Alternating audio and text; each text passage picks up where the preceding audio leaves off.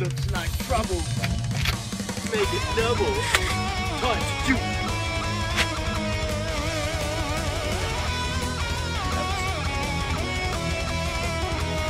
But, uh,